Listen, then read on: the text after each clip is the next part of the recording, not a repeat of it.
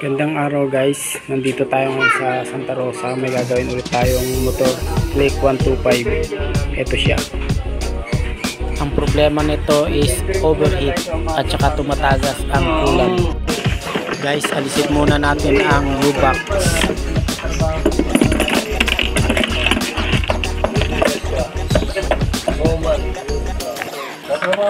Tanggalin ang tatlong tornilyo na yan para matanggal ang U-box. Ayan guys, pag natanggal nyo yung tatlong tornilyo na yan or nut na yan, uhugutin nyo na lang po yung U-box at dala na yan lahat, matatanggal na po yan.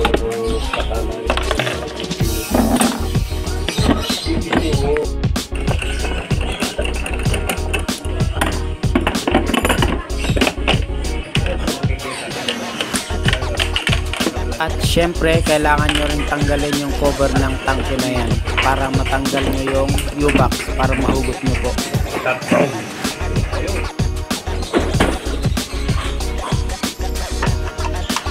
Tanggalin natin yung cover ng radiator. Alisin natin yung tatlong tornilyo para matanggal yung cover na yan.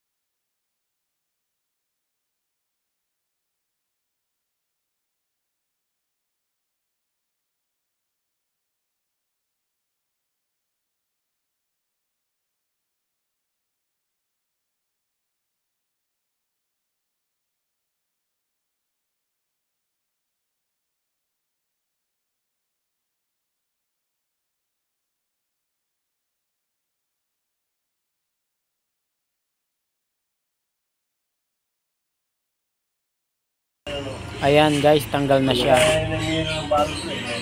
Tanggal na natin ng ating takip.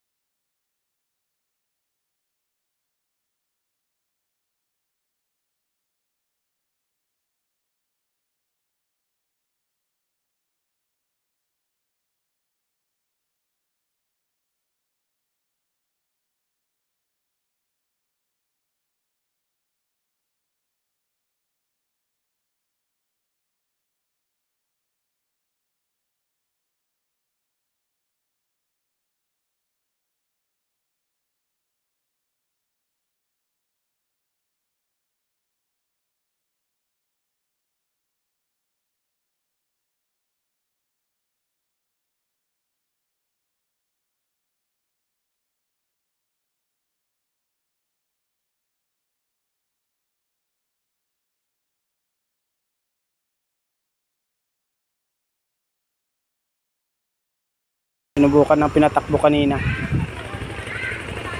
yan sobing sobe ang andar Oh my God!